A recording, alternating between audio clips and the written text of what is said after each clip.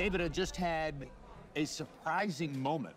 Alexander Gvozdyk came, sat down in that chair, and knowing what you had told me this morning, I said to Gvozdyk, uh, what happened when the two of you sparred together in Oxnard? And he said, didn't go well for me at all.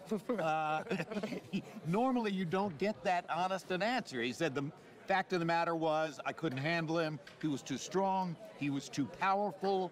Um, those were not good sparring sessions for me, but now this will go differently. Are you amazed that he would give me an honest, honest answer like that? I'm amazed and I appreciate his honesty, but uh, it's not going to go any better for him. When I sparred him, I was 21, 20 or 21 years old.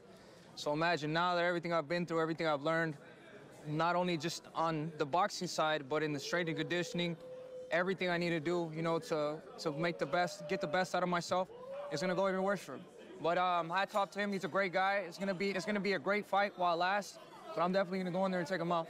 I asked him, how about your jab? It's one of the best in the sport. He said, it didn't work for me against him. So again, pretty amazing. Neither his jab, neither his jab worked or his right hand worked. I took away all his best weapons, and now that I know exactly what he does, uh, it's gonna go even worse for him. But um, like I said, I'm not I'm not using that to try to be arrogant or try to overlook him. I'm still working extremely hard because I know that those those weapons are there. But uh, it's gonna be a great victory for Team Benavidez.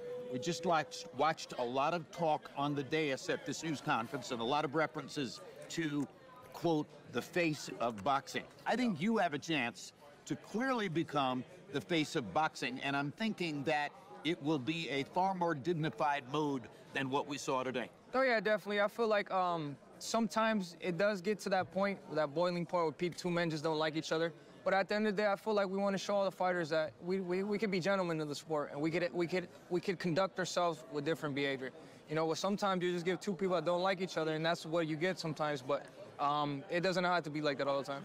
But nothing happened in this news conference which would change your approach to your fight. Yeah, no, um, um, me and my fight, you know, I, I'm doing a lot of, I'm studying still, I'm doing a lot of homework on this guy.